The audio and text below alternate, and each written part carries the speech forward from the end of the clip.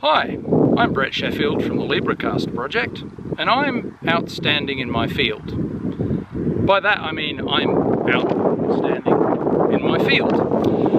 And the reason for that is I want to talk to you about somebody else who was outstanding in his field, uh, and who was in fact outstanding in track and field, uh, and that's Dick Fosbury. I heard the news uh, just uh, last night that Dick Fosbury had passed away on Sunday. And uh, I didn't hear the news at the time because uh, I was busy submitting the uh, Memorandum of Understanding for the LibreCast project to the NGI Assure Fund, which I'm pleased to say we were accepted into. And uh, so what what has Dick Fosbury got to do with LibreCast? Well, uh, Dick Fosbury is a bit of an inspiration for us in the LibreCast project. Um, in fact, I mentioned him in the very application for this NGI Assure Fund, which NLNet has just accepted us into. Um, I'd encourage you, if you have an open source project, uh, you have an interesting idea, uh, for making a better next generation internet that you apply to one of the open calls uh, through NLNet and uh, you know try and get some some funding to move your project forward. The process is very straightforward. They will help you. Uh, don't be afraid to you know get in touch.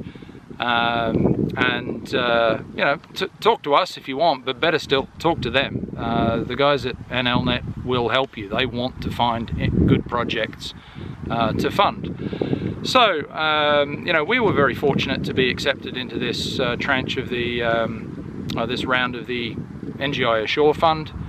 And uh, oddly enough we mentioned Dick Fosbury in our application. Um, you need to answer some questions uh, when you, you fill in your application for the uh, for any of these open calls and uh, it's a fairly simple process but one of the questions is to uh, compare your project to other attempts to solve the same problem and uh, so uh, what I wrote was this TLDR we use multicast.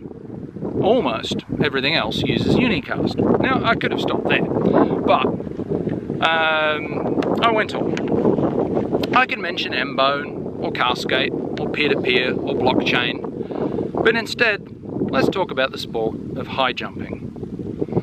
At the 1968 Olympics, Dick Fosbury won gold in the high jump using a new jumping technique we now call the Fosbury flop. This was a whole new approach to jumping that involved arching the body over the bar so that the centre of gravity passes under the bar, allowing greater jump heights than had ever been seen before. No one else did this. All the experts, the coaches, the top athletes in the world did it the old way. They were all experts and they were all wrong. Soon after that event, the approach took hold and it became the standard. Multicast is our Fosbury flop. Dick Fosbury used the same laws of physics that were available to anyone else at the time. He just noticed something that everyone else had missed and used it.